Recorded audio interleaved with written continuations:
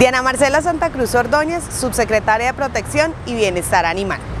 El alto número de casos reportados a través de la línea 123, módulo ambiental de abejas y avispas, es una clara muestra de la necesidad del manejo adecuado de estos casos. Por ello, hoy estamos entregando insumos y dotación al Cuerpo Oficial de Bomberos de la ciudad, con el fin de generar una protección en la comunidad, en nuestros bomberos y también en estas especies polinizadores cuando estos casos requieren atención.